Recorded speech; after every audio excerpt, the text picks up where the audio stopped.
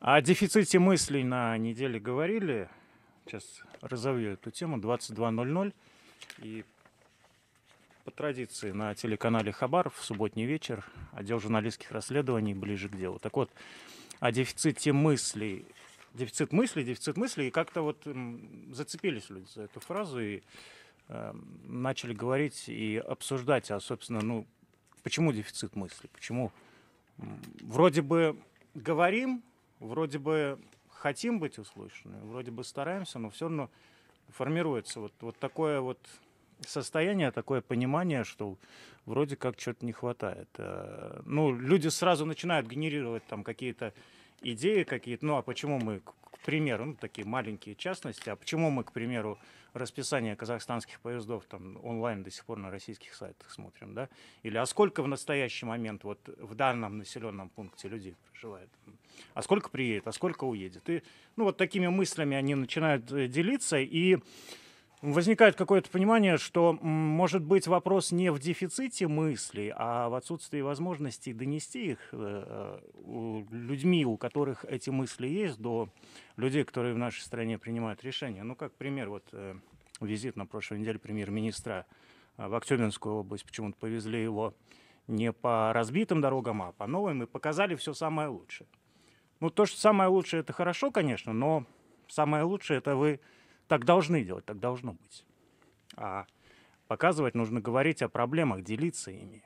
И, может быть, тогда вот этот дефицит мысли исчезнет, и мы уже начнем решать проблемы, которые возникают. Одна из мыслей, которую мы, отдел журналистских расследований, пытаемся донести постоянно, это дайте бизнесу возможность работать. Ну, в частности, мы говорили периодически о рейдерстве. И вот сейчас я предлагаю фильм посмотреть сначала и потом уже продолжить обсуждение.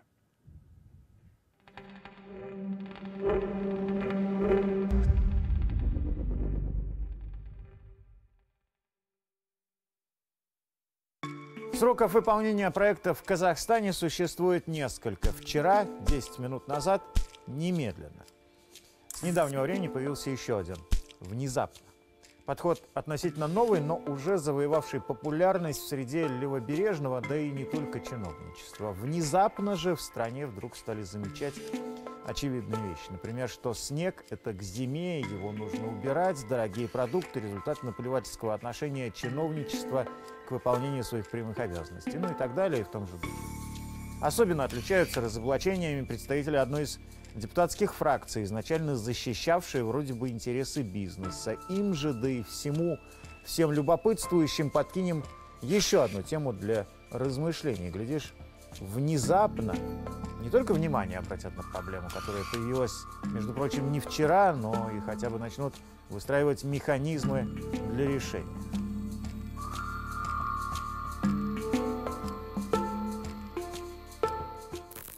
Сам термин «рейдерство» большинству казахстанцев знаком, но ассоциируется слово больше с сериалами образца 2000-х, где крепкие ребята с автоматами заставляют владельца очередного завода, газеты, парохода переписать фирму на них.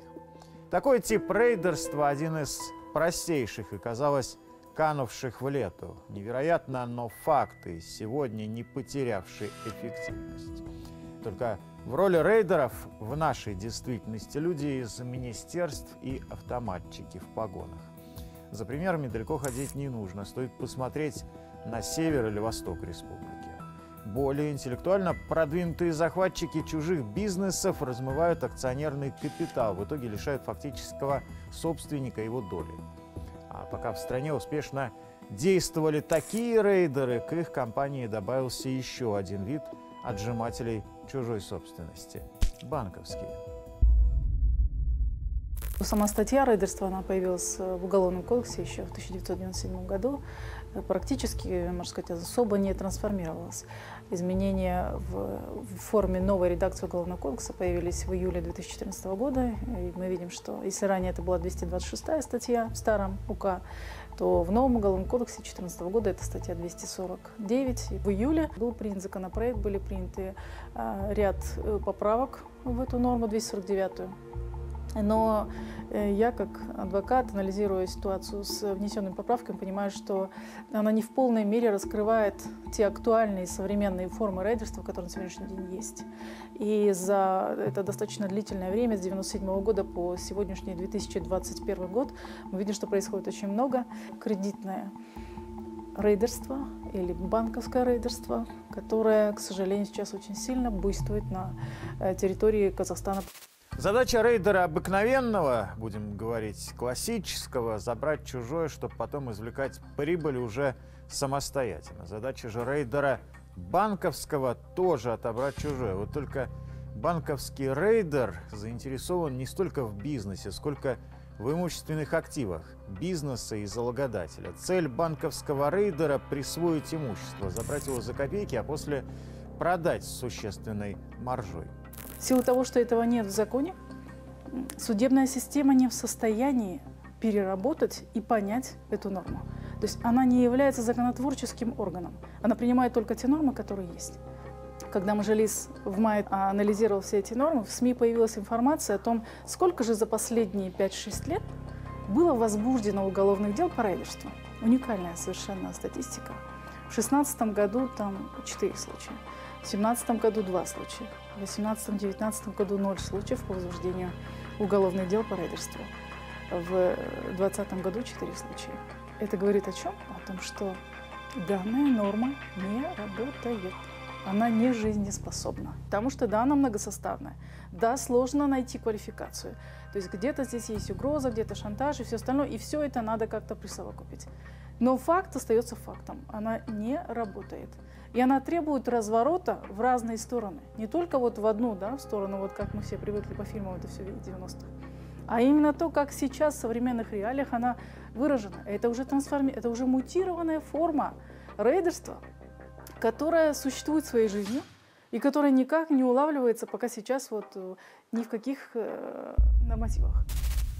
Почему выживает и мутирует коронавирус? Потому что ему помогают и сторонники теории плоской земли, всячески уклоняющиеся от прививок себе и своим детям, и те, кто прививку попросту себе позволить не может. Зараза селится в незащищенных организмах, там же видоизменяется. Такой вот бесконечный цикл воспроизводства и эволюции. Почти то же и в случае с банковским рейдерством в Казахстане. Для заразы здесь просто рай. Во-первых, ее распространению и мутациям никто не мешает. Юридически она не классифицирована. По Фортебанку ситуация, когда в отношении человека было подделано 53 документа с ее подписью. Она выставила там, там тоже консорциум, кредит брала три организации в единой ячеечке, они использовали, часть оплатили, какая-то сумма осталась. Она является залогодателем женщины, которая вот обратилась ко мне. Я когда начала анализировать досье, досье объемное, выяснила, что 53 документа были подделаны вот ее подписи. Это было доказано по черковической экспертизе в суде. И вот вопрос, э, который, скажем, адвокат ставит перед судом, заключается в том, просим суд, и как требование просим суд признать эти договоры и доп. соглашения недействительными, поскольку они решают, там, изменяется процентная ставка, увеличивается сумма, увеличиваются сроки кредита. Это, естественно, влияет на итоговую сумму оплаты этого заемщика. Тем не менее, а, вердикт суда такой, что мы не можем признавать их недействительными, потому что в итоге это может увести заемщика от ответственности. Вот такое вот очаровательное определение судебного органа. Даже не будем приводить какие-то аналогии и примеры. Разумный человек, думается, и без того поймет всю глупость и абсурдность решения. Почти такие же на протяжении множества лет вынуждены оспаривать те, кто столкнулся с нечестными банкирами. Суть тут в том, что если банк изначально хотел вас рейдернуть, то он вас рано или поздно обязательно рейдернет. На моменте, когда документально фиксируется просроченная задолженность, это, по сути, та стартовая площадка, когда с легкостью юридическое лицо, заемщик может уйти в тот самый вот не, недружественный захват его бизнеса или его собственности и так далее. А, к сожалению, это все вот упирается в то, как появляется эта просроченная задолженность и каким образом дальше происходит, ну, скажем, разворот событий.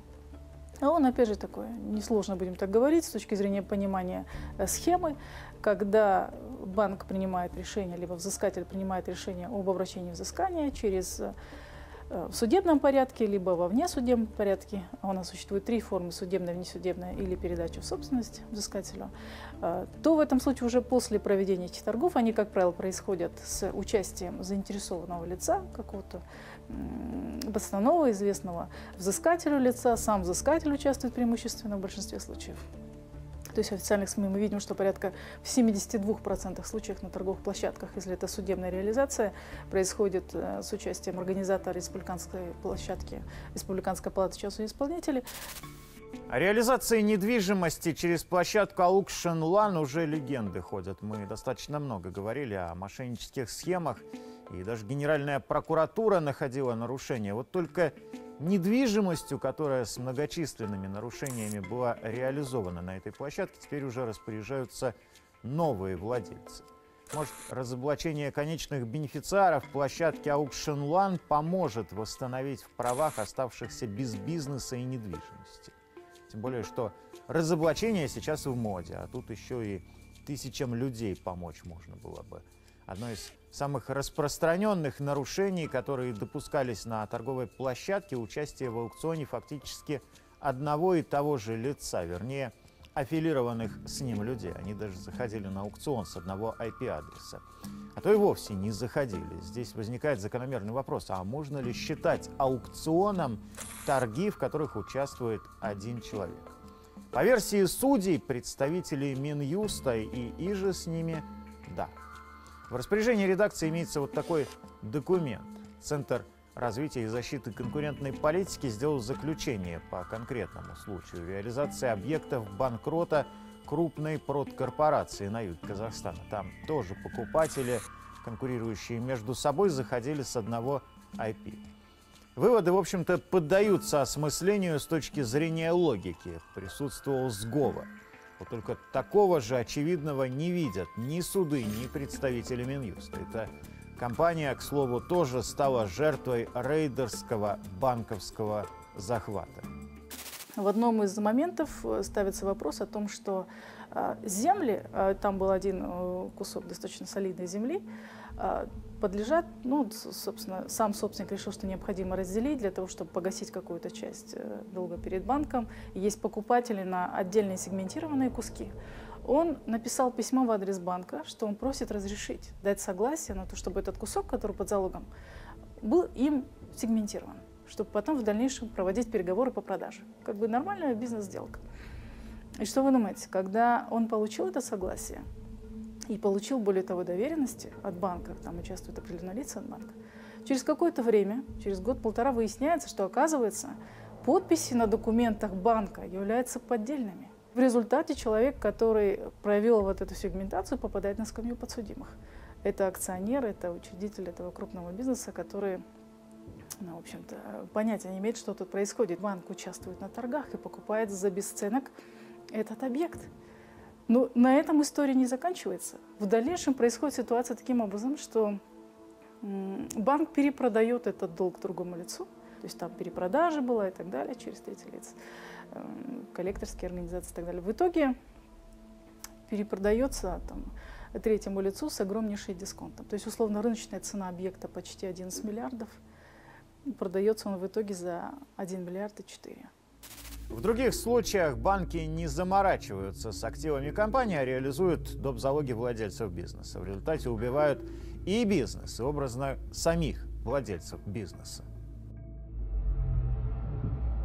В марте 2012 года а, значит, э, я в лице ТО взяла кредит а, под оборот основных средств для пополнения основных средств в банке Нурбанк. А, значит, кредит был взят на один год а, с учетом того, что мы под гарантию договора, который у нас был, на почти где-то на 2 миллиарда. Но в свете э, жизненной ситуации получилось так, что мы не смогли вовремя отдать, выплатить, закрыть данный кредит – а, ввиду того, что э, изменения появились э, в работе. Как раз в это время девальвация пошла, как раз в это время инфляция, все вот это все пошло. В 2014 году, в сентябре, банк обратился в суд, а, и обращение сделали они э, чтоб, э, на дом. Им легче было забрать дом, нежели обратить взыскание на ТО, у которых были обороты, а, дебиторская задолженность, основные средства были. А, Если стоимость данного дома по э, значит, оценочной стоимости была 230 миллионов, они, бы, э, значит, сам банк, в лице банка, кто участвовал в данном а, аукционе, сколько, с каких IP-адресов это было, по сей день нам это неизвестно. Значит, 15 сентября 2017 года они за 126 миллионов купили данный дом. Стоимость этого дома, понятно, что они э, почти на э, 48% с понижением. Сам банк его купил. Ну, это рейдерский такой захват был, чисто рейдерский захват. А, Потому что я так думаю, что кто-то в банке имеет вид на данный дом, и не хотят они отдавать. То есть я согласна, да, я понимаю, что ряд нарушений с моей стороны, с со стороны фирмы было. Мы должны выплатить данную сумму. Я от этого не отказываюсь. Должны погасить, но не таким же образом, что э, если данный стом- дом стоит 230-250 миллионов, они его продают за 120, выкупают за 126 миллионов. Кто участвовал в аукционе? А, Сколько лиц участвовало? Один, два, три, десять? Неизвестно. Каким образом они по- вот этот э, до 48 шагов сделали э, понижение, тоже неизвестно. Потому что мы не можем найти фирму, потому что мы не можем найти архив, потому что мы запросы делаем, и нам нигде э, нормального ответа нет. Замкнутый круг в отношениях с банком и у Серика Бегалеева. Бизнесмен планировал поднимать сельское хозяйство, закупая чипсы для завода полного цикла по их производству у алматинских фермеров. Из пяти компаний осталась живая одна. Из 200 человек осталось 19 человек. Это вот то, что осталось сегодня от большого бизнеса.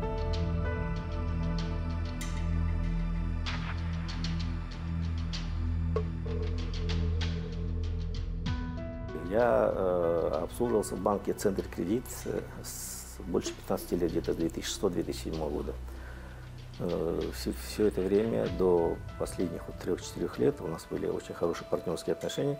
Наша строительная компания э, строила большой объект. Это мы э, строили порт Курык, э, это недалеко от, от, от Октавы. Мы, э, как субподрядчика, э, это контракт был больше 2,5 миллиардов тенге в тот момент. Вот. И один из наших субподрядчиков оказался э, э, как бы не совсем добросовестным. Мы ему перечислили 300 миллионов, хотя его проверили перед этим. У него и техника была за- на 800 миллионов тенге, и офис, и и все, первая категория, заслуженные строители области и т.д. т.п. В общем, проверили, а в в итоге, когда начали строительство, они эти деньги э, использовали на свои нужды. Э, В итоге мы с ними расторгли договор, судились, как бы э, суд выиграли. А, а деньги с них получить не смогли, потому что это имущество, которое они э, демонстрировали, оно находится в залоге банка, у другого банка. Казалось бы, есть проблема, нужно ее решать совместно. Банк ведь это организация-посредник между деньгами и теми, кто делает реальные дела. И задача банка – помогать тем, кто делает реальные дела. В нашей же реальности несколько наоборот. В тот момент э, по- под залог у нас было поставлено, у, у ко- у компании достаточно своих э, смысле, активов, э, техника э, и, и земельные участки были. Банк взял технику в залог, и кроме этого э, взял под залог э, наш, э, мой личный дом и э, квартиру моей дочери и медицинский центр, да, который у нас э, является тоже э, личной соб- собственностью, здание, его. Вот.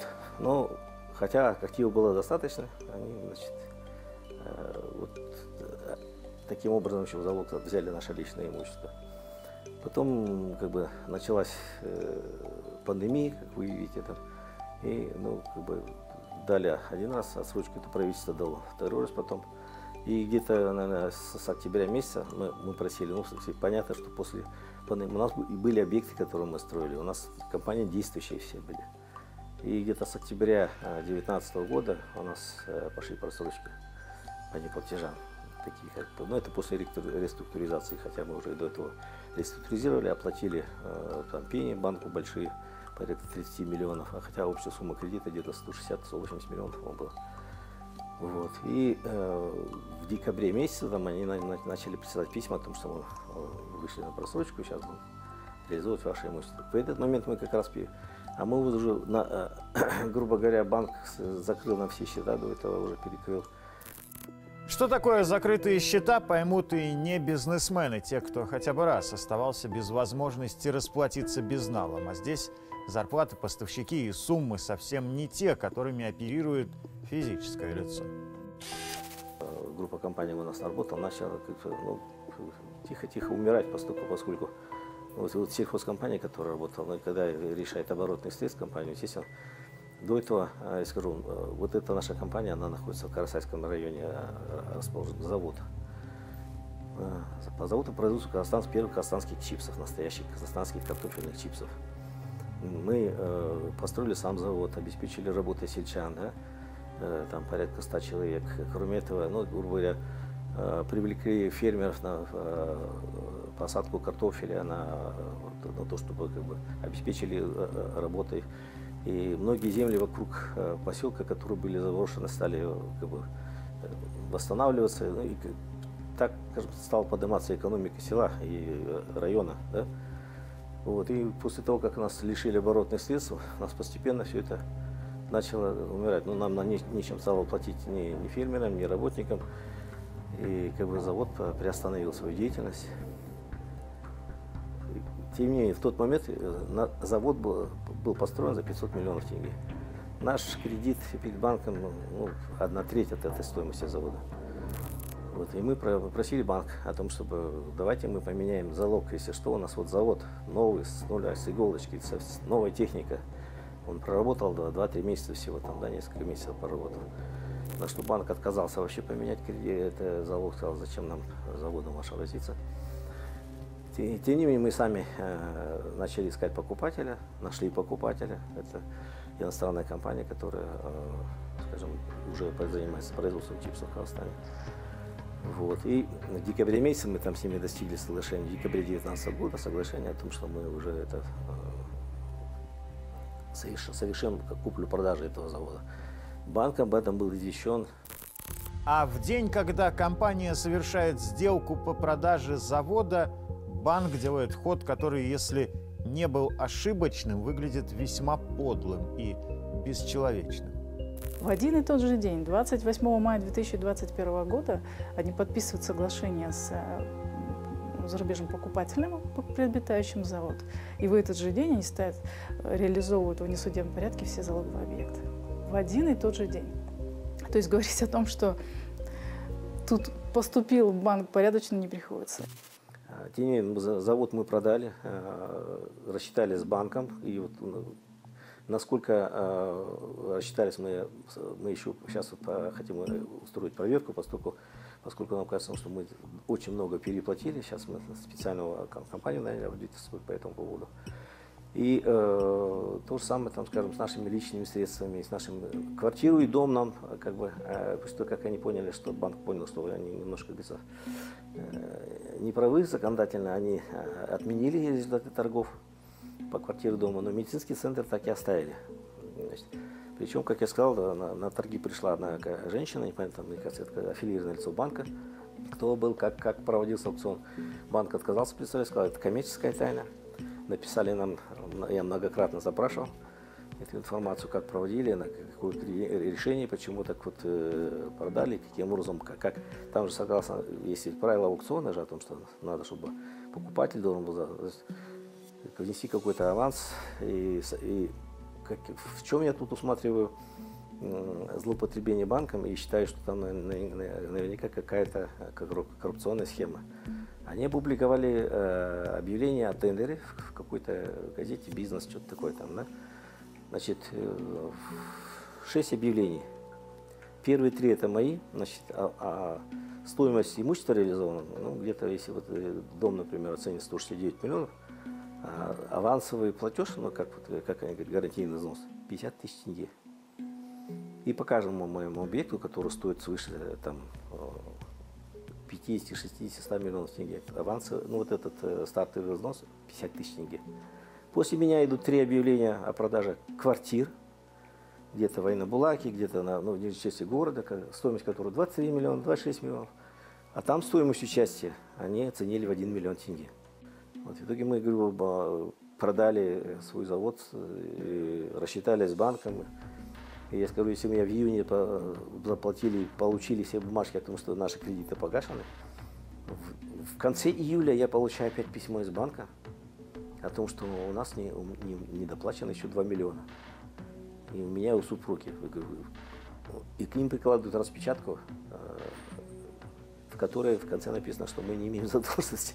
То есть Левая рука не, не, не знает, что делает правая рука. Мы повторно обратились в банк с разъяснением, как это получается. Вот прислали письмо о, о том, что мы вам должны, там, я там э, порядка 2,5 миллионов деньги, хотя распечатка, которая приложена к этому уже письмо от банка, в котором написано задолженность ноль. В феврале текущего года перед э, компанией был поставлен вопрос о погашении суммы в размере 20 э, там, с лишним миллионов тенге. Сумма была погашена, но из этой суммы, как мы видим, большая половина, там 14,5 миллиона, было направлено на пеню. При этом компания никто не разъяснял, э, как рассчитывалась эта пеня, за какой период она рассчитывалась.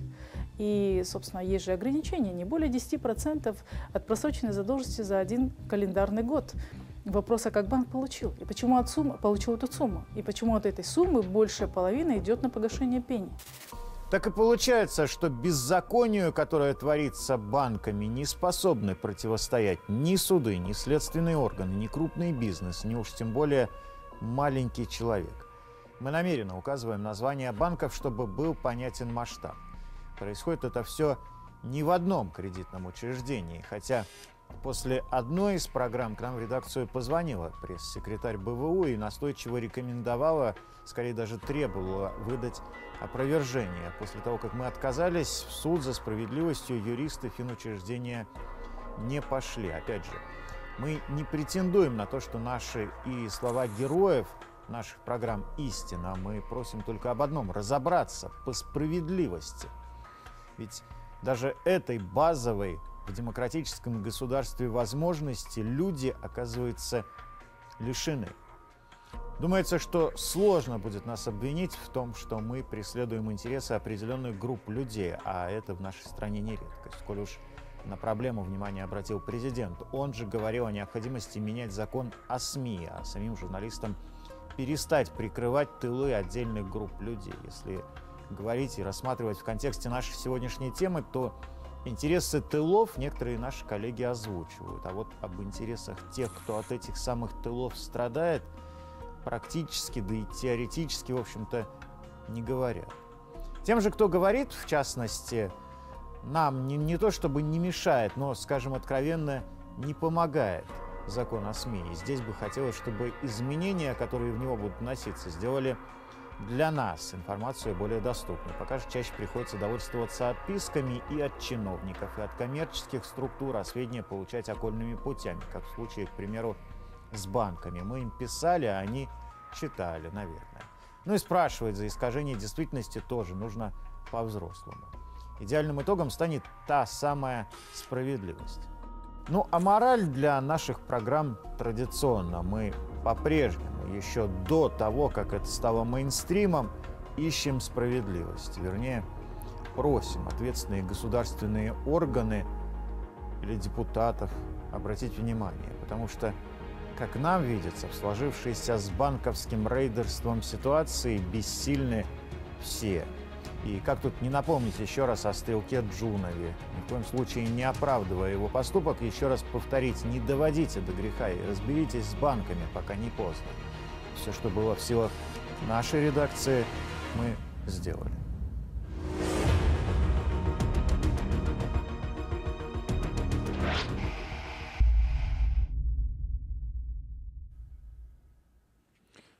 Рейдерство классическое, если вот в классическом у нас сейчас короткая реклама, я буквально пару предложений, а затем мы начнем обсуждать то, что мы увидели и то, что мы сейчас хотим проговорить.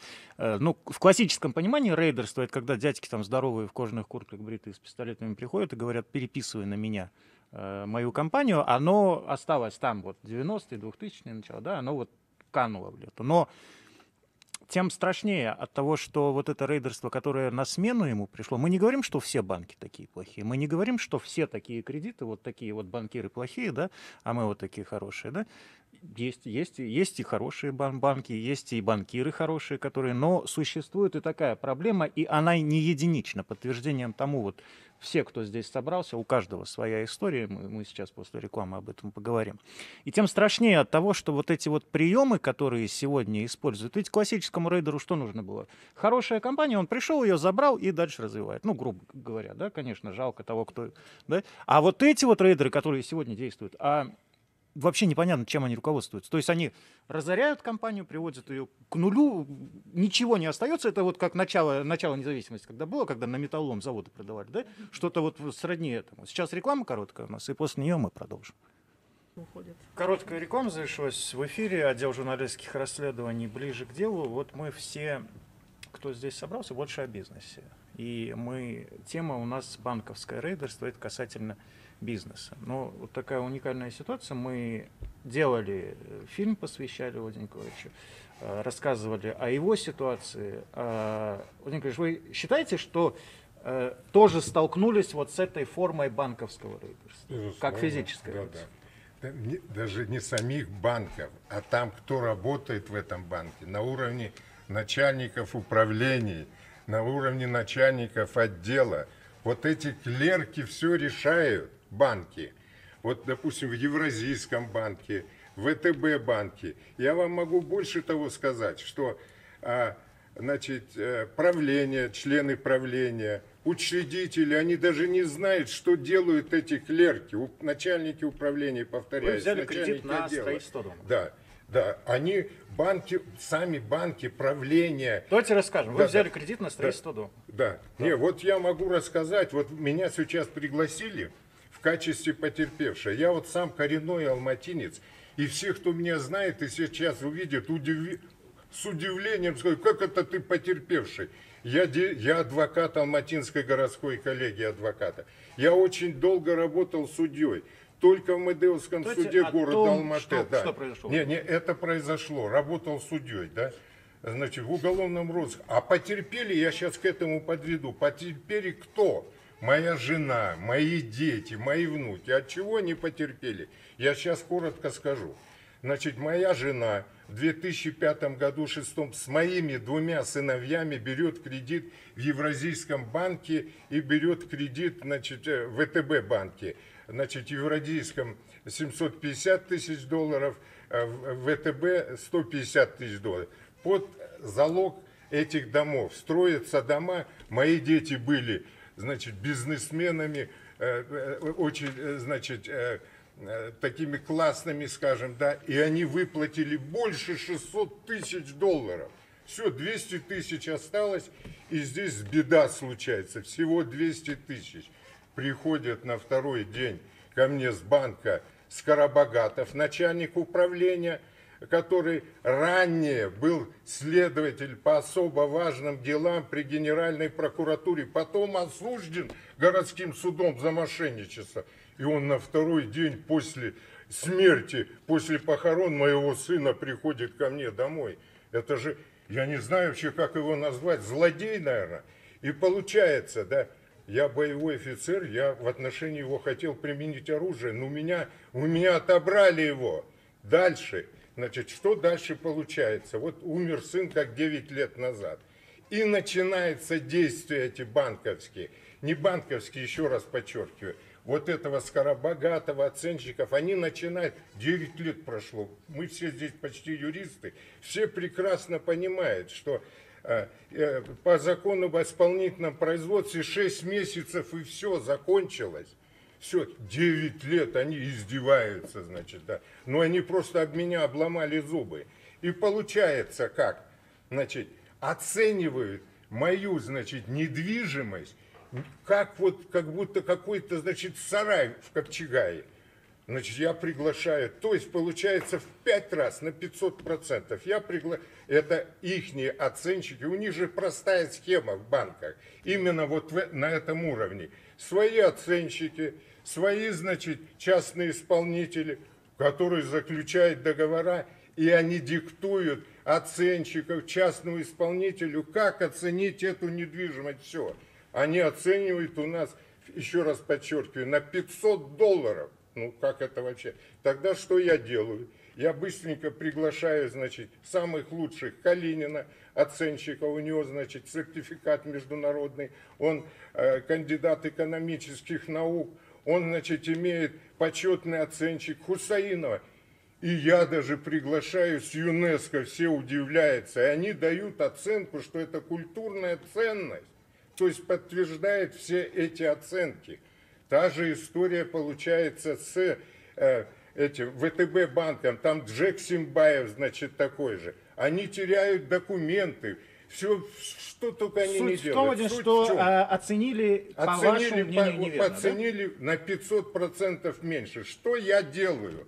Значит, чтобы вот это все подключить, все, я даже сам адвокат, да, я беру Меркушеву, которую вы знаете, кандидат юридических наук.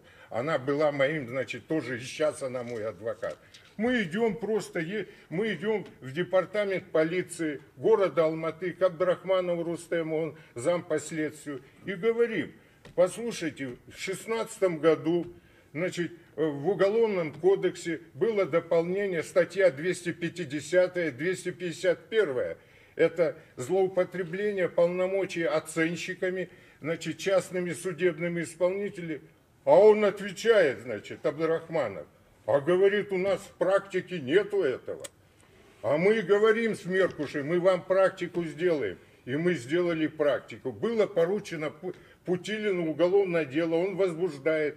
Это старший дознаватель по особо важным делам департамента полиции, вот самое главное хочу. Значит, возбуждает уголовное дело в отношении Скоробогатова, значит, который, э, значит, в отношении оценщиков, в отношении частного судебного исполнителя, оценщик Бесимбиев, значит, э, частный судебный э, исполнитель Сагат Бекулы возбуждает уголовно по 251 и на пок- покушение на имущество. Все, начинаются следственные действия. Следственные действия проводятся, Путилин приезжает, смотрит, а там, говорит, как в музее. А они сделали сарай. А всем же понятно здесь. Взяли долг, Что, отдали что сегодня, и все. Что сегодня, на На сегодня? сегодняшний день, сейчас самое главное, на сегодняшний день, значит что, а, дело идут следственные действия, и здесь, этот же Скоробогатов, он же был э, это, следователь по особо важным делам, безусловно, связи, контакты, и вот этот вот звонит, значит, э, в том, это дело было возбуждено в 2020 году, в Владимир июне Николаевич, давайте месяце. к сегодняшнему дню. Вот смотрите, к сегодняшнему Вот сегодня дню. что? Сегодня Смо- оста- остаток долга Се- есть, да? Нет, никакой здесь о долге речи нет. Сегодня уголовное дело.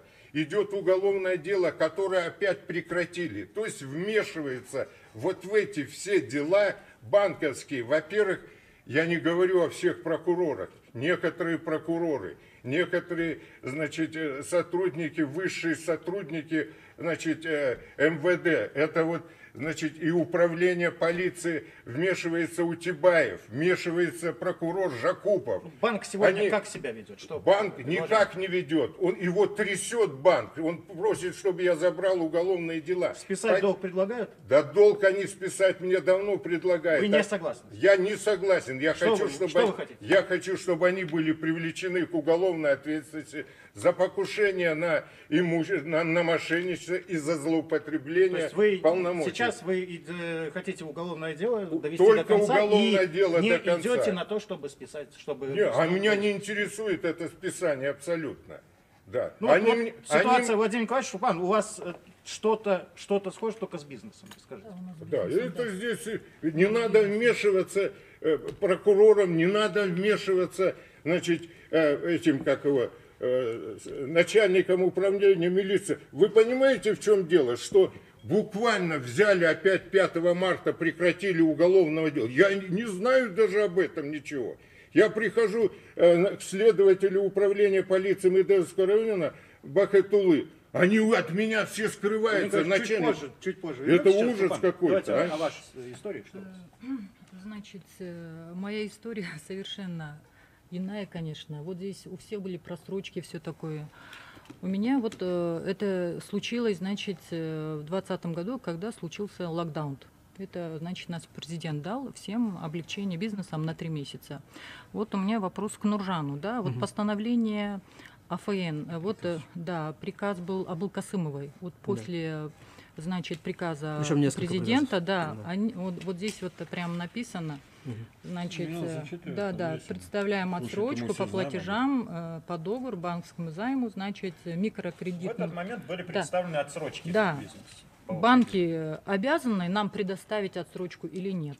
По Там прям- заявлению, да, поскольку Да. это относится к чрезвычайному положению, Да. ну вот локдаун у нас пандемия относила. Поэтому для этого и был оперативно издан со стороны АРФР э, приказ по предоставлению срочек э, физическим лицам и э, субъектам малого и среднего бизнеса.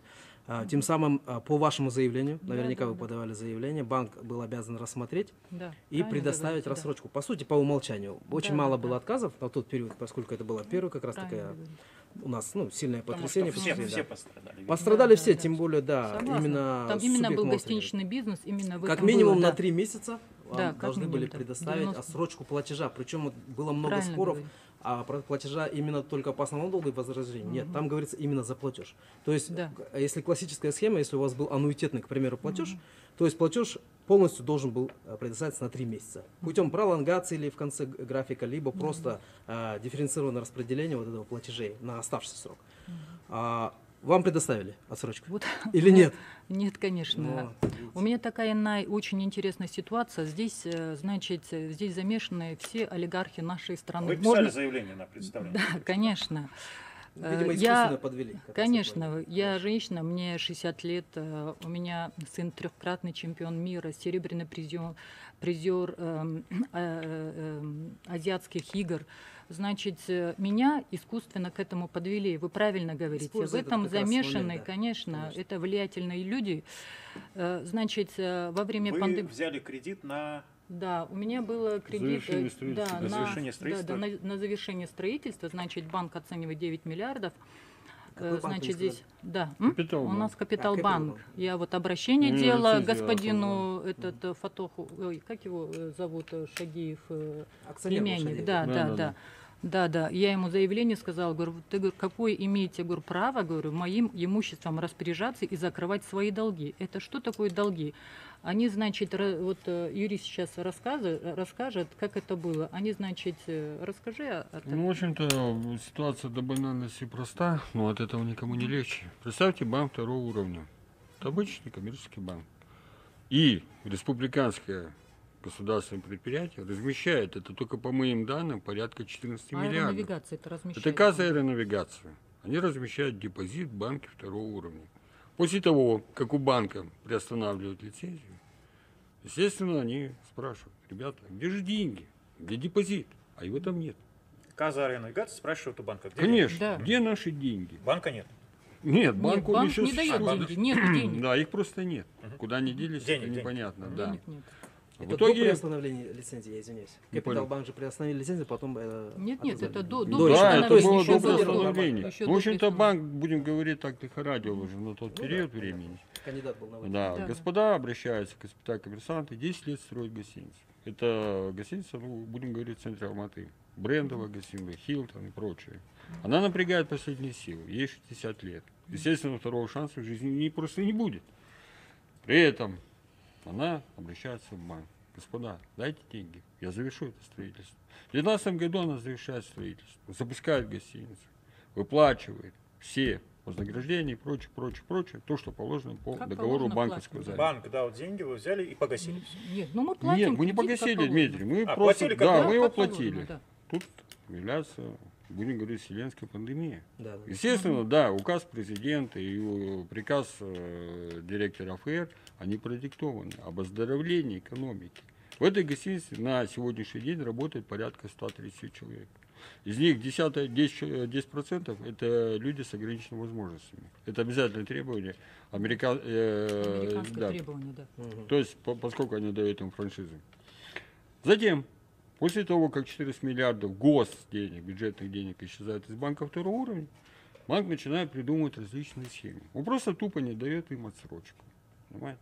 Не дает. Вот который я сейчас Да, спрашивала. мы говорим по поводу отсрочки. Слушайте, господа, ну есть приказ, есть указ президента. Дайте отсрочку. Станут на ноги, отдадут вам все это дело. Тем более гостиница работает. Это вы в 2020 году ставили вопрос по срочке? Ну Да. Сразу при первой Ну, пандемии. это после пандемии, да, Да, сразу, да. да. Ну, кстати, гостиничный бизнес, он входит в перечень тех Да. э, Да, именно наиболее не все бизнесы Да. входили, гостиничный входил. да. Гостиничный бизнес он входил. Далее. Мне говорят, господа, а вы, ну я понимаю, что это искусственно, а вы злостные плательщики, а передадим мы вам коллектору. И тут же, как по волшебству, появляется коллекторское агентство, которое там буквально за день до этого они, в общем-то, зарегистрировали. Да. После этого коллектор приходит и говорит, уважаемый Шапан Бадидановна, как бы так, будете платить или нет? При этом ставят, ну, да, господа, дайте хотя бы возможность передохнуть чуть-чуть. Нет.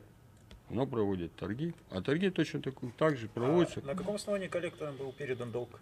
На основании выхода на просрочку. Да, да, К да. сожалению, Да в нет, законе такое трехсторон- допускается на, на Нет, любом нет, этапе, не да. так, не так было. Не так они было, да? трехсторонний договор заключили, потому что банк же должен аэронавигации, и они, Ну, и мы значит... к этому плавно перейдем. Да, да. Я Да. извиняюсь, Да. я не совсем понял, вот этот депозит, который был размещен, да, 14 миллиардов, он Это в банке. обеспечении стоял сами или просто? Нет, они Свободный просто депозит. разместили, да, Свободный, это окей. депозит. Ну, естественно, я понимаю, что денег этих нет.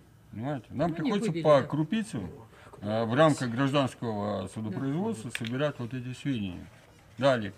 Затем вновь созданное коллекторское агентство, Название можно? банк, э, Зангер коллекторское агентство «Зангер». Закирянова. там. Директор Закирьянов. Ну, она прокладка идет между банком и между, который нас купили. Далее, после этого республиканское городское э, государственное предприятие, банк и коллектор заключают трехсторонний договор.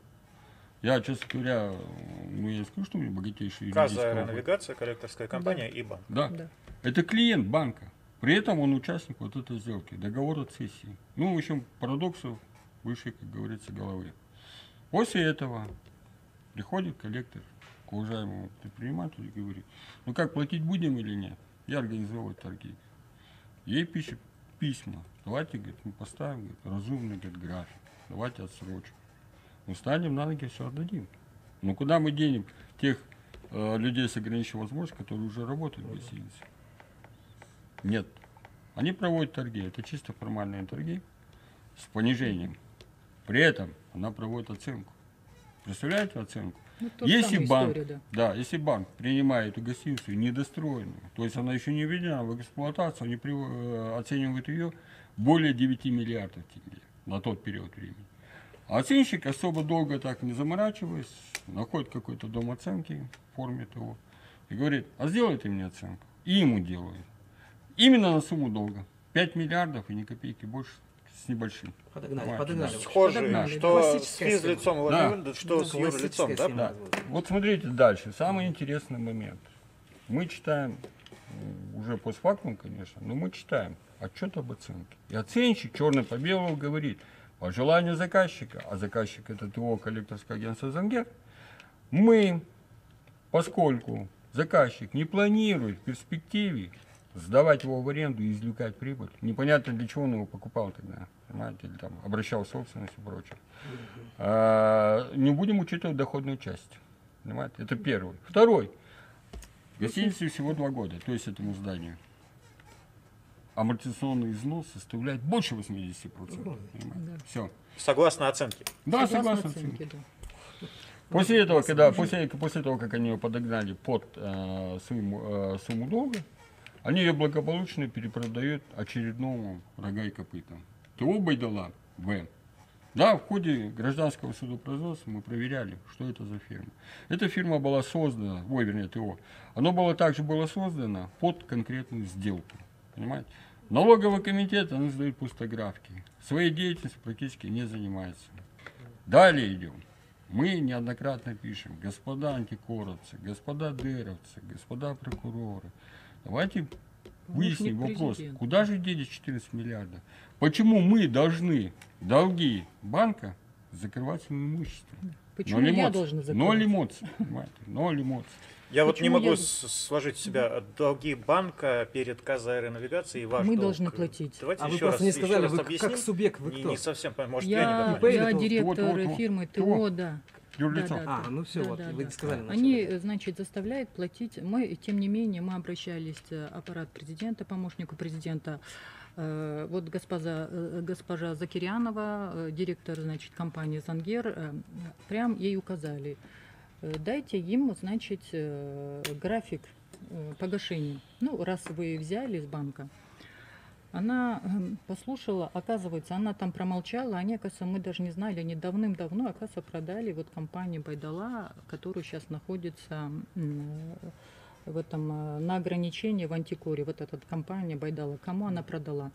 Ну, она идет, значит, здесь обычная схема, вот вы же знаете же, Э, Вот по сегодняшний день мы уже третий раз обратились, значит, помощнику президента. Опять же, значит, у нас э, судебные процессы идут. Конечно, вот я сейчас не просто сейчас спросила, вы как бы как эксперт, вот э, банкиры, вот наш городской суд, они пишут, «Ба- банк не обязан, значит, постан- постановление Я АФН, да, да, да. Перебил вас, я проясню Да, да. ситуацию. Мгм. Здесь немножко оно сумбурно Да. так, э, будем говорить, излагает. Вопрос какой стоит?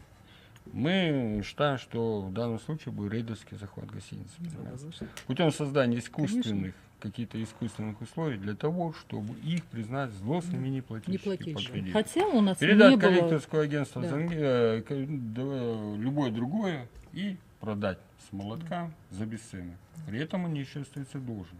понимаете? Ну, они к этому подвели, Далее. да. Что Далее. Мы говорим, да. господа, давайте мы все-таки возбудим уголовное дело, а перед этим проведем хорошую доследственную проверку. И в рамках вот этой доследственной проверки, поскольку вы наделены властными полномочиями, естественно, мы Уголовное вытащим дело по факту. по факту рейдерского захвата. Мгм. Безусловно. Потому что искусственно Далее. создали, да. Ноль эмоций. Ну что нам делать? Остаток Нас долга выселяют. какой у вас? Нету За 5 долга. миллиардов оценили, а остаток Да. долга какой остался? В этом банке у нас Да. был долг, Да. они ровно подогнали оценку. Да. под Подогнали. долг. Реализации Ровно. закрыли они? 5 миллиардов с копейками. Закрыли, да? Вот Да. потом закрыли займ полностью. Да. Да, они закрыли, да. Но мы проводим независимую оценку у господина Калинина. Вот сейчас говорит, мы тоже господа, проводили. господа, У Калинина, да. ваша гостиница она стоит как минимум 11 миллиардов. Понимаете? Улавливаете разницу между между. Куда пошло, кому пошло, и вообще продавалась ли эта гостиница. Здесь нет гражданского судопроизводства. Здесь чисто уголовный, э, уголовное правонарушение в форме рейдерского закона. А вы сейчас доказываете аффилированность между вот компанией, которую продали, и Да, банком, безусловно. Вы доказываете Конечно? Да, конечно. они нас искусственно Но, создали но, же, как будто Дмитрий, мы вы не платили. поймите нашу ситуацию. Вы прекрасно знаете, как проходили январские события. Это, будем говорить, трагический январь для Алматы и прочее, прочее, прочее. А, по большому счету, большинство правоохранительных органов они просто не работали. Да, мы обращались, мы до этого обращались, мы после этого обращались. Но поскольку нас уже, мы будем говорить так, ну, говорят, берите чемоданы, выходите, мы обращаемся в гражданские суды. И вот парадокс нашей алматинской Фемиды заключается в следующем. У нас есть экономический суд. Поскольку там два юрлица, мы обратились о признании незаконным договора сессии. Тот договор, который был заключен между КЗ навигацией, коллекторским агентством и банком. И что вы знаете? На наш довод о том, что нам не было предоставлена срочка, госпожа Басканбаева, это судья экономического судья, она выносит парадоксальное решение. Это один из доводов ее незаконного решения, чтобы оправдать незаконность этого. Она говорит, а вы знаете, вот этот приказ Абулкасымовой, это не обязанность, это право банка. Хочет – дает, а хочет – не дает. Вот поэтому я задала этот После вопрос. этого, Да. после этого мы, естественно, обращаемся с апелляцией в Алматинский городской суд. Э, У нас есть, может, вы знаете, он на слуху, в общем-то, Дима Сазонов. Но по закону подлости именно перед апелляцией он заболел, он сломал ногу. Что делать? Я в отъезде. Моя супруга, это ее родная сестра, она тоже юрист. Она берет доверенность и уходит на онлайн судебное заседание. Сами знаете, коллегиальный состав суда. Я могу героев назвать Карибаев, Умаров, председатель и Альтаева. Она говорит, господа, дайте, пожалуйста, мне э, небольшое время для того, чтобы я хотя бы могла ознакомиться с этими материалами. В суде первой инстанции я участие не принимал, апелляционную жалобу не составляла. То есть э, говорить, э, в общем-то, защищать полноценно я не могу. Дайте возможность мне предоставьте время для заготовления. Они говорят, нет. Они говорят, а почему? Нет, мы будем, говорит, рассматривать. Хорошо. Она заявляет отвод. Она говорит, вы заинтересованы в исходе дела. Вот эта троица. Они говорят, хорошо. Господин Умаров, я, честно говоря, впервые такое вижу, он на себя берет уже функции законодателя. Он говорит, вам устанавливается 5 минут времени для подготовки письменного заявления об отводе. Я говорю, а где в ГПК, РК, где написано о том, что время конкретизировано именно 5 минут, 10 минут, 15 минут. Но, насколько я знаю, законодатель у нас апеллирует другим понятием, разумный срок. Все, все вот эти истории объединяют то, что платить же никто не Конечно. отказывался, на самом деле. И- Нет, и напротив, просрочка, что, Николаевич, не что было у вас ситуация? Да, у меня да? просрочки не было, они Дмитрий, искусственно создали. Искусственно, специально подводит это классическая Да. схему. Да, В- Казахстане это, наверное, да. уже, как знаете, Да. как этот Да. а, аксиома или У нас теорема. есть еще один герой, я сейчас попрошу Да. подготовить. Нет, Сейчас- я Специально я искусственно подводят. Я буквально, я не буду Интерес именно к залоговому обеспечению. Но я выскажусь о наболевшем. После чего заявляется отвод. Они говорят, ну, ваш отвод, вообще-то он говорит, я говорю, там отвод-то был заявлен всему составу суда коллегиальному. То есть он уже рассматривается по другой, 38 статье, это ГПК, и часть, по-моему, уже пятая там идет. Ну, долго не сумять, говорят, простым голосованием, с учетом мнения, заслушивать мнение участников процесса. Это наши оппоненты, это ответчики, понимаете, представители кадры навигации, коллекторское агентство Занге и прочее. Они говорят, а давайте говорит, не будем его удовлетворять, этот отвод. И они не удовлетворяют. Но самый последний момент, самый интересный момент. Господин Карибаев, это судья городского суда, он является свойственником ее и Мукешева имама. Понимаете? Ну, Однозначно отвод должен же. быть. Конечно, он должен был заявить сам отвод. Сам отвод. Да, но мы ждали до последнего, когда у человека проснется совесть. Когда же он заявит сам отвод? У нас реклама короткая, сейчас после нее продолжим сразу. Мы вот Сейчас, сейчас, видите, перед вы- рекламой да. я говорил о том, что у нас еще одна история есть, но они все интересные, в кавычках, конечно, да, все схожи, так или иначе, вот этой вот коварностью, которая, ну, ну люди же не отказываются платить на самом деле, ну зачем вы забираете-то? Люди доп. залоги ставят, бизнес ставит доп. залоги. В конце концов, вот это вот у нас философия у бизнесменов-то смещается, когда бизнес открывает человек, он думает, так, а что надо сделать, чтобы меня не рейдернули, да, в первую очередь. Он задается этим вопросом, так, а я вот там сейчас, сейчас, сейчас, сейчас, сейчас. Плюс еще риски есть того, что там капитал размоют, там еще что-нибудь сделают, да. Плюс еще вот такая вот ситуация с банками. Опять же, я говорю, что мы не против банк- банков, да, это не не кошмарим, да, не, не нагнетаем ситуацию. Банки, они должны быть, но они должны быть в цивилизованной форме. Банк дает деньги бизнесу, физическому лицу для чего? Для того, чтобы тот развивался, да? Ну, в части физических лиц э, большинство у нас там сотовые телефоны покупают, пусть.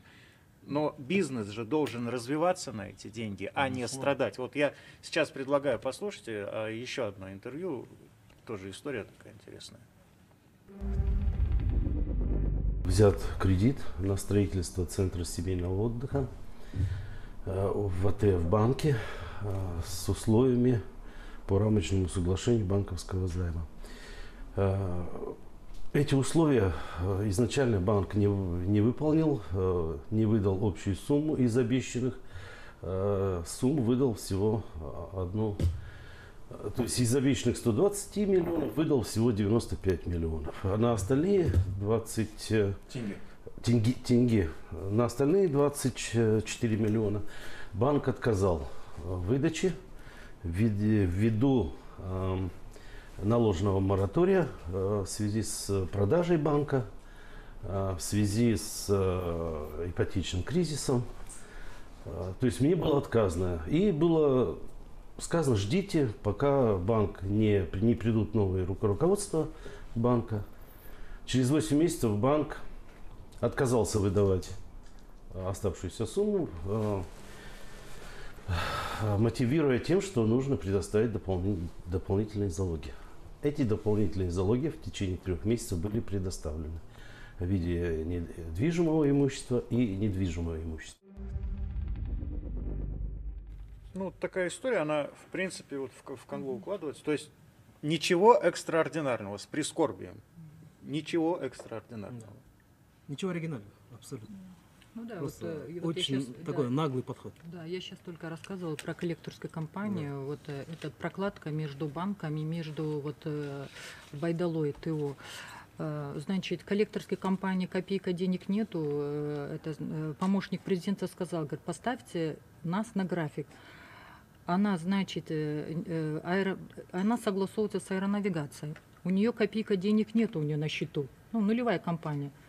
Потом, значит, откуда-то берет она деньги, 700 миллионов, и начинает именно э, аэронавигация, ей дает на два года отсрочку по платежам. Чтобы она, мне не дают, которую, значит, у меня бизнес работает, у меня какой-то доход, мне не дают, а ей дают, нулевой компании. Ну вот и мы обращаемся правоохранительные органы, откуда она взяла эти деньги. Вопрос. И э, э, э, к этому, естественно, здесь, значит, э, схема, как я каждый раз говорю, это обычная схема. Отъем рейдерства. Правильно? Да. Ну вот фина- финансисты говорят, у нас нет рейдерства. Банк. Мы звали, кстати, регулятора звали, предлагали, они нам неделю что-то голову морочили, придем, Но придем. они и не придут, пришли. никто из них. Вот А, они, они говорят да. одно. У нас нет банковского рейдерства. Вы неправильно говорите. У нас не существует банковского рейдерства. Да, юридически у нас, я правильно понимаю, господин юрист, у нас не существует юридический термина Термина банковское у нас такого не Понятия существует. нет. Да. Нет, у нас есть уголовная статья. М, Закон относится его к уголовному правонарушению. Рейдерство. Банковского А какая разница? Рейдерство. Рейдерство это вот то рейдерство из 90-х, которое это размытие акционерного капитала. Нет, оно приобретает новые черты, оно приобретает определенный лоск, но от этого не становится менее Ну, юридически коварным. нас В законодательстве, да, Да, его я не, не ввели, скажем так. Юридически нету понятия преступления банковского. За что бы зацепиться юридически. Вот. Дмитрий, касательно того материала, который сейчас вот мы увидели по поводу вот этой ситуации, связанной с компанией ТО Вига Инвестмент, в настоящий момент идет актуальный спор, который рассматривается в Медведском суде города Алматы, где участниками и ответчиками является фонд проблемных кредитов, где учредители правительства, и Жусанбанк, АТФ. Ситуация чем а, удивительная и любопытная э, в продолжение той истории, то есть на момент, когда записывался материал, тогда стоял вопрос об оспаривании торгов. Торги были отменены в этом году, были признаны незаконными. На Торги на Auction проводились. А, нет, нет, Нет. проводились они республиканской торговой площадкой, да, честно. И э, в январе этого года было вынесено решение. Сейчас идет новый спор. И вот в продолжении вот этой темы я бы хотела обратить внимание, возможно, это может быть, очень важно будет тем слушателям, которые сейчас столкнулись с ситуацией, связанной с тем, что долг, который был ранее в э, Жусанбанке, в ВТФ банке, передан в фонд проблемных кредитов. Э, Удивительная вещь, с которой мы столкнулись и которая потрясает воображение, это то, что подписанный договор купли-продажи активов между фондом и банком содержит крайне некорректную информацию. И хорошо те, кто добрался. Вот мы добрались, мы провели экспертизу, мы проанализировали, мы вызвали независимых экспертов в суд. Причем суд провел, спасибо судья, провел оффлайн, то есть пригласил специалистов и банка, из независимых экспертов. И мы начали разбираться и увидели, что к договору имеются акты приёма-передачи, в которых передаются остатки сумм, имеющиеся по заемщику. Так вот, удивительная вещь. По вот этому заемщику, э, ТОО Вига Инвестмент, дефолт был объявлен в августе 2014 года. Что указано в прежних документах? Несмотря на это, а после объявления дефолта какие-либо начисления вознаграждений пени не осуществляются. В ходе судебного заседания на прошлой неделе специалист бухгалтерии банка сообщил о том, что в период с 16 числа, с 16 вернее, года, после вынесения арбитражного третейского решения суда, до текущего времени, то есть до, по представленным справкам, они продолжали начисление вознаграждения, штрафов и пений после объявления дефолта. И эта сумма в итоге без какой-либо проверки и анализа, несмотря на то, что в договоре купли-продажи правительственной, по сути, компании указывается, что они мониторят все эти вещи, была перед... сумма значительно увеличенная от того, что было на момент, когда был объявлен дефолт. Это потрясающий, поразительный факт, для меня как для юриста. Я понимаю, что э, те люди, и там, там же очень большой объем компаний передан. Мало Я того, просто- что не додали, так, Так еще и потом э, увеличили. после объявления дефолта да, начали считать проценты. Фантастические что суммы невозможно. просто. Это И это вопиюще. просто потрясающе. Что по закону невозможно, я так скажу. Однозначно. Самое неприятное, что все-таки это фонд проблемных кредитов, на который, в общем-то, все молятся и рассчитывают на то, что они как-то снизят бремя, как-то смягчат ситуацию, как-то все-таки от имени государства Республики Казахстан пойдут на какие-то э, более детальные разборы и мониторинг всех этих остатков долга, которые есть при передаче активов. Но то, что мы видим, это просто удивительно. Я могу показать все, все доказательства, все цифры, все расчеты, результаты экспертиз и так далее. На мой взгляд, в государстве, которое стремится в топ, тридцатку, которая стремится к странам с практикой высокого применения, такая, как есть в цивилизованных странах, в том государстве, в котором есть международный финансовый центр Астаны, который работает по практике ведущих стран мира, я полагаю, что это крайне неприемлемо. И я э, сейчас, пользуясь этой ситуацией, обращаю на это внимание. Ну, вот есть белый лист, тут не поспоришь, да, вот он белый. А что не видят это? Куда вы, же обращаетесь? Это, это... Дим, вот смотрите, вот у меня соглашение банка, вот как вы сейчас говорите, да, вот здесь соглашение черно-белым написано. Обращение, э, значит, когда спорный вопрос обращение с иском в суд, взыскание за должность по, глаши- по соглашению. А нас, они, значит, у нас об этом даже не спрашивают, они просто без нас они э, продали, внесудебную реализацию сделали. В этом соглашении его нет, вот как сейчас то же самое. Они поступают как хотят, понимаете? У меня было вне, э, внесудебные, они просто передали, даже нам не сказали абсолютно. Обратила Точно- просто Да, да, да. Обратила и все. Передайте прямо формальный торги. И мы по сегодняшний день, э, наш э, городской суд э, абсолютно, ну, потому что это вся старая команда сидит, конечно, они никогда не будут поддерживать. А И я не нас взыскание пошло на доп. Залог? на, на- на мой залог, на, залог, мой на гостиничный На основной, на комплекс, гостиницу, да. на основной залог. да? Да, Дмитрий, это- вот только что мы говорили, это чисто именно акцентированная цель на залогов- А. э, залоговый объект. То есть им не интересует, насколько там масштабный бизнес, Да, хороший да, человек или да, плохой. да. Всегда вот банковское рейдерство заинтересовано на момент заключения договора принятия уже интересен какой-то объект. Понимаете? И вот как вы правильно сказали, чтобы Да. не поддержать, а похоронить в дальнейшем бизнес Да, этого похоронить, предпринимателя, либо да. а, организации. То есть а, для них, для банкиров, э, причем это могут, может быть сам топ-менеджмент, однозначно просто из практики я доподлинно могу сказать, что э, там не, даже не решают директора филиалов. Там Нет, это- сидят. это Почему? Потому что вот из этой решают. ситуации, кстати, по АТФ банку, опять же могу совершенно точно сообщить, что вот в этот период, ну, где-то начиная с 2006-2007 года, я, я не могу сейчас точно утверждать, но вот, вот в этот период зашла какая-то команда, которая работала именно в этом направлении. Много было случаев по Астане, много было случаев по Западу, по западный регион, где предприниматели именно стоило только оступиться по графику, сразу там действительно каким-то волшебным образом задолженность передавала быстро в, в проблемный отдел, там сразу быстро формировался материал в суд для того, чтобы побыстрее ускорить Это эту всю ситуацию. с да. судьями получается. И даже где-то в регионах судья, да. коллектор. Они, они все вместе связаны. Они все вместе Все связаны. вместе. Почему? Потому что на каждом этапе кто-то уже э, готовится. Если банк, допустим, здесь разрабатывает схему и передает суд, здесь уже судья, ну, в принципе, там уже ну, определенная договоренность есть, как правило. Конечно. Вот. И поэтому решение суда о взыскании задолженности выходит очень быстро. А возможно, даже в одном решении выходит и взыскание задолженности путем сразу же выходит. обращения на залоговое имущество, понимаете? Чтобы два раза не ходить в суд. Было очень много таких случаев. И вот, кстати, все мы знаем о алматинском случае э, Дужного, которого гражданина посадили. Это там как раз-таки схема БЦК была. Вот я сейчас тоже То же самое, него. Да. практически. То есть интерес был похоронить Мы компанию, производственная база плюс коттедж. да. его действия, Да, но однозначно. понимаем, что м, такая ситуация сложилась из-за того, что вот не видели, да? Да, Да, там и вот не насчет видели, того, что что в Дмитрий, стране вот можно такой я вот Да. скажу, да? Короткая реклама, буквально после нее мы сразу. Чтобы мысль не потерять. И его не видят.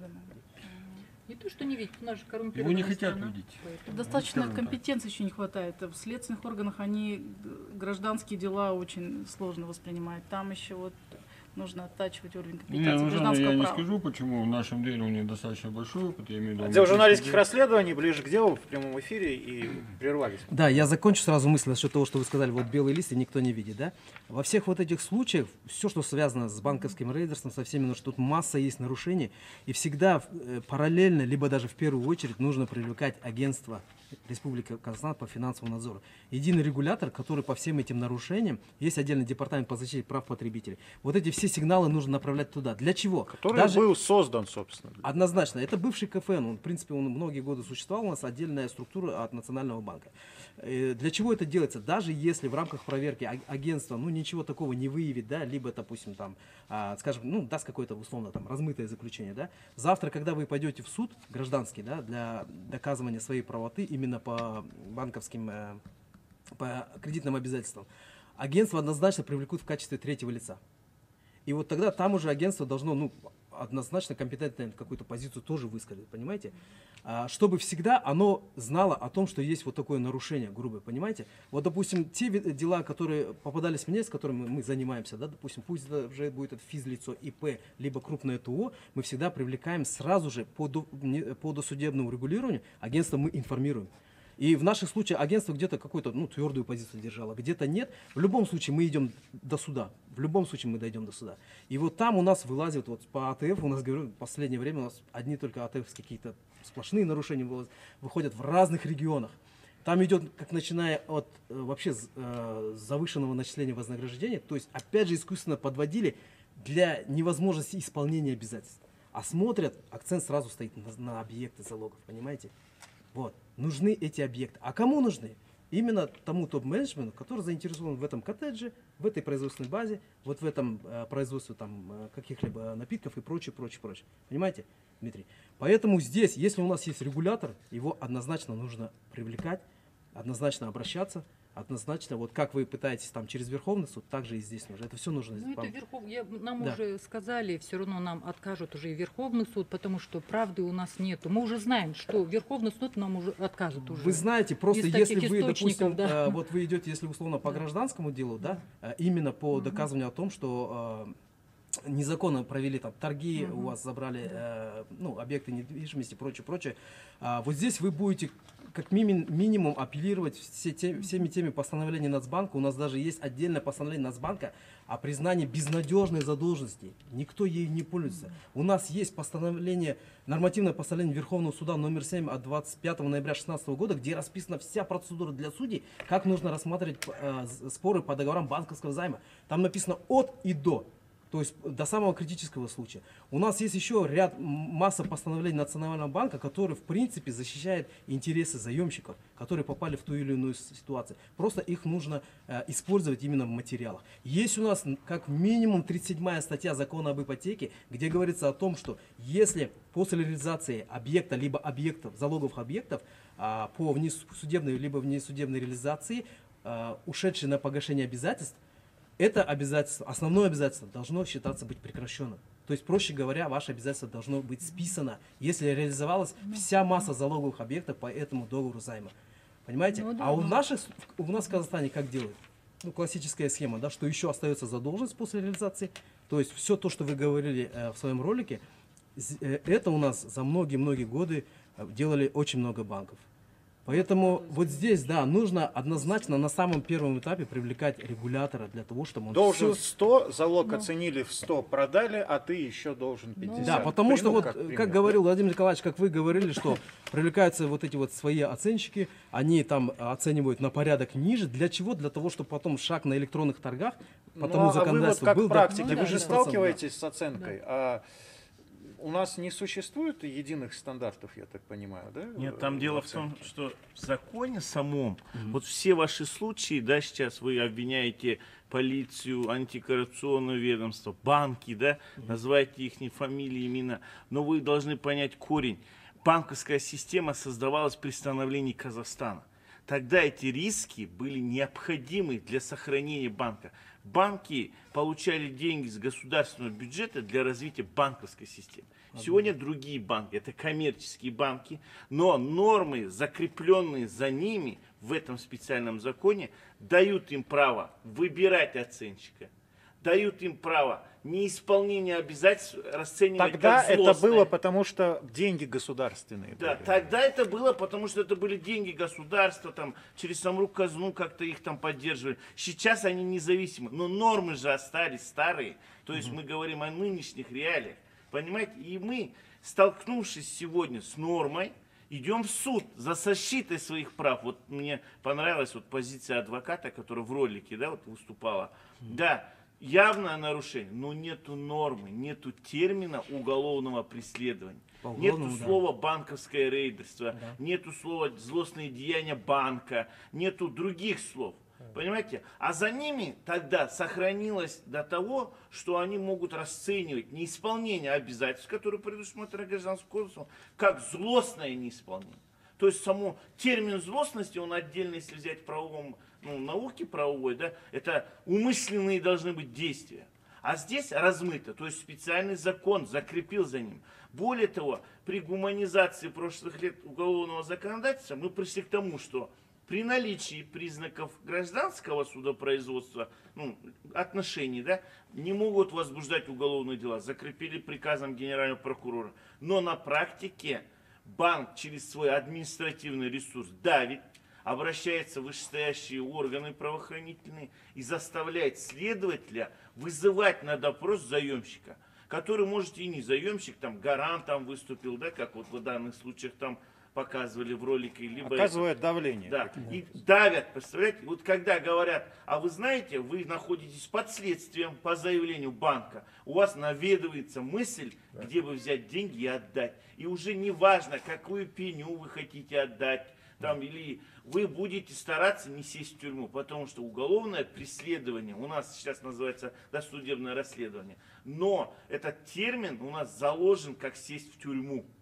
А когда мы идем жалуемся на банк, да, у нас закреплено законодательно, тогда, когда было принималось это при, еще, при становлении государства, это еще вторая конституция только было изменение, вводилось, тогда эти были деньги взяты извне, под гарантию государства, на развитие банковского сектора, и было много так называемых кидал. То есть это были однодневки, там, потом вот это рэкетирство, да, как мы сейчас его рейдерством обзываем, это другое. Сейчас кардинально требуется изменение вот этого банковского закона специально. Быть может, ни фамилии, ни имена этих банков, да, могли бы не быть виновными. Но мы сейчас Но, вот только во да, время рекламы от Тенгри банке разговаривали, Да. да, когда там просто безвозвратные э, потребительские кредиты Вот там выдавали это- и это размыли Потому капитал, что термина нету. Видите, они были юридически подкованы настолько, что взяв государственные деньги, либо внешние, да, ну, из других банков, да, выдавая под безвозвратно, делали хищение. Вы знаете, как было тяжело, мне кажется, да, органам досудебного расследования квалифицировать вот это хищение. Потому что, вот возьмите яркий пример одного из банков, это БТА банк. Вот я его могу назвать, потому что он уже ликвидацию, ну, процедуру проходит. Знаете, какая была позиция защиты его учредителя? Аблязов заявил, что он владелец собственного банка, и что он взял с одного кармана и положил в другой карман. Это Аблязов так заявляет, представляете? При обвинении, когда его обвинили, что он там не возвращает депозиты, что он безгарантированно совершил противоправные Да, действия в говорил, отношении «М- вкладчиков. мои деньги. Он говорит, я взял говорит, со своего одного кармана, вложил в другой карман, и это мои были деньги. Но сейчас судебная практика показала, что это были деньги вообще вне, да, и что гарантия государства там была заложена в основу залога, понимаете? У нас есть- пара минут остается до конца. Я предлагаю тем, у кого истории, да, давайте по минутке, Секунду, Шупан я- и Владимир да, да, Григорьевич. Я секунду скажу. Я, значит, э, не представилась. Я, значит, вот э, это строительство гостиницы. Я в город, в город Алмату, значит, он единственная гостиница с мировым именем, это Хилтон. Я завела этот бренд, франшизу. Я хочу расстроить этих олигархов, которые нападают и хотят отнять мою это, гостиницу. Хочу разочаровать их просто-напросто. Сейчас санкция стоит э, ну, по России. И, э, значит, франшиза принадлежит мне, она моя собственность. Я ее сейчас, если они та- так будут поступать со мной, незаконное решение будут принимать, я просто-напросто буду, значит, с ними расторгать договор. Естественно, там гостиница закрывается, внутри имущество это мое, в залоге стоит только здание. И 150 человек останутся без работы. Как нам президент говорил, кто, значит, э, м, воспре- э, э, воспрепятствие работе бизнеса должно рассматривать как преступление, направленное против интереса государства. Я считаю, которые такие действия совершают, это преступники, это враги нашего народа. Как мы собираемся строить новый Казахстан? Я, я вот э, э, с этим делом, значит, полгода занимаюсь, я вообще поражена, честное слово. Я хочу всех призвать, кто пострадал во время локдауна, В прошлом году был, э, значит, Надеемся, засуха. что да, услышишь. Вот да, Владимиру у- Николаевичу тоже минутку дадим, да, да, услышать я готова программу. всем помочь и всем объединиться. Владимир Николаевич, и- мин- минутка и- и заканчиваем. да. Да. Я обращаюсь, я обращаюсь к прокурору Мудеевского района города Алматы Жакупову, я обращаюсь к начальнику управления полиции Утибаеву, что по банкам ВТБ банка, Евразийского банка давно закончены все гражданские дела, все исчерпано. И прошу вас прекратить э, это. Вы прекращаете в течение двух лет 17 раз уголовное дело, а потом вы его возбуждаете снова. Вы прекращаете этим заниматься и доведите уголовные дела до, до обвинения и направьте судебные органы. Нет, все. Завершаем. Отдел журналистских расследований ближе к делу. Ну, тут добавлять-то, в общем-то, нечего за справедливость. Будьте честны, чисты перед собой в первую очередь. Ну, и где-то это обязательно зачтется. Всего доброго.